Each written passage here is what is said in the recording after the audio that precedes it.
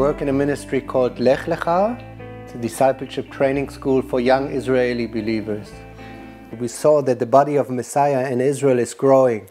More and more young people started to, to be believers in Jesus. Looking back, it's really, we feel like looking, watching a movie, watching what God is doing in the lives of these young Israelis. And this is where, what we were witnesses of. This is one of the testimonies. He met Jesus in the New Age festival, which sounds weird, but God has any way to reach people.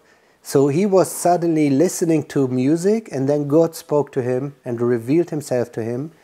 And then he felt very filthy. He felt that he's dirty and he wanted to clean himself. So he went to shower. And after taking a shower, he wanted really to, to to also get cleaned outside for what he felt was happening inside. And he put on an, another t shirt, and this t shirt was very funny, but it had a frog on it. And then he met a believer evangelizing in the New Age festival. He was handing out tracts with a frog on it. He saw the frog, this drew his attention, he was reading. He said, Wow, I just met the Lord. Can you tell me more about it? He came to, to a group of believers who sh- shared their testimony, testimonies, and one of them, of the group of believers, was Mike. And then he realized he knew Mike. Both were taking drugs in the, in the past together. And, and then he said, What happened to you, Mike? And then he shared his testimony. And then he accepted Jesus on the spot in the same day. What I can say, looking back in these 23 years I'm in the land, that the Israelis are more open for the gospel now than 20, 30 years ago. You see it in the numbers of people getting saved. Again, it's not a big number, but it's more and more. I remember when I first came to the land 20, 25 years ago, there were less than 1,000 believers on the Jewish side in Israel.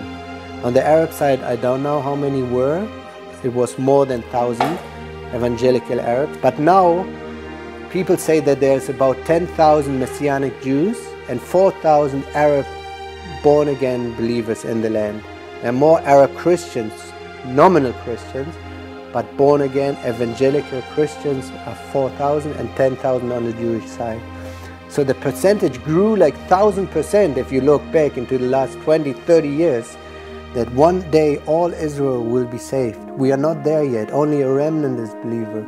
That we believe this is part of God's uh, preparing the ground for the end time. I don't know, of course, where on the scale of the end time we are at, but as we all see around in the world, the, the earthquakes, the tsunami, the, the, the, the wars, all these things going on, and on the other side, the gospel being shared in more and more people groups, this will be all part before Jesus coming back. And one day, at the end, the very end, all Israel will be saved.